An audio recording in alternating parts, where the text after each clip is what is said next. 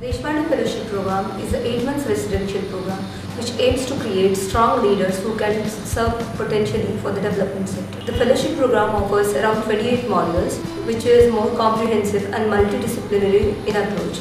Through the NGO visits, leadership activities, entrepreneurship activities, marketing, fundraising, village study, fellows get an opportunity to enhance their perspective in terms of knowledge and skill development.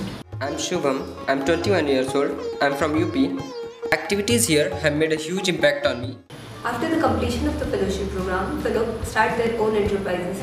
SRDS, Safe Hands 24 into 7, Shining Moon Foundation, Kalpataru Cattle Feed. Fellows also work in the different development organizations such as English Helper, Rangde, Milaap, ICICI, TAI.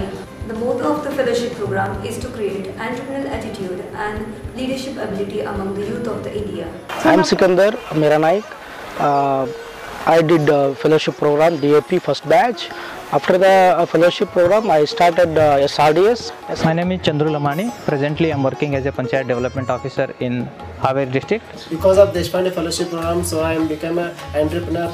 Right now, I'm working as a proprietor of Kalpataru Manufacturing Unit. M और DFP DNA